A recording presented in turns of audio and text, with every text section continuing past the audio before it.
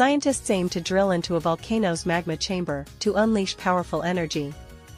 The project, which would be a scientific first if successful, would see boreholes drilled about 1.3 miles down through the Earth's crust at a volcano known as Krafla. Scientists in Iceland have come up with an ambitious plan to drill into a volcano's magma chamber to source an abundant amount of clean, superhot geothermal energy.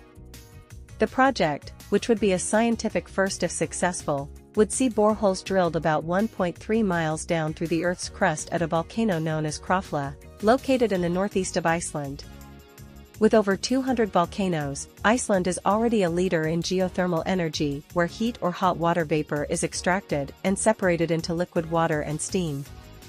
The steam is then run through turbines that produce electricity used to power and heat its many greenhouses, used for its high levels of local food production, as well as for heating. Around 90% of homes in Iceland are heated by geothermal energy, according to Energy Transition, a green energy website. However, geothermal energy is cooler than steam at fossil fuel power plants, about 482 degrees Fahrenheit and 842 degrees Fahrenheit, respectively, and so tapping into the magma chamber could unleash a far powerful energy supply and boost the nation's overall energy stock. It's quite inefficient at those low temperatures, so there's an interest in trying to develop superhot geothermal, John Eichelberger, a volcanologist at the University of Alaska Fairbanks, told New Scientist. The purpose of producing energy from near magma superhot geothermal is that these wells are up to an order of magnitude more powerful in terms of producing energy than conventional wells, project manager Bjorn Argumundsson, told the Daily Mail. We can drill one well, instead of 10, for the same power output.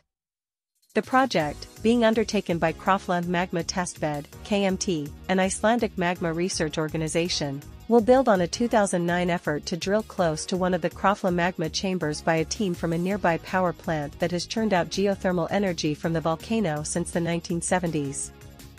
The intent with that project was only to get near to the chamber to explore geothermal energy options, but the chamber was not as deep down as expected, and the project accidentally broke through into the magma vault,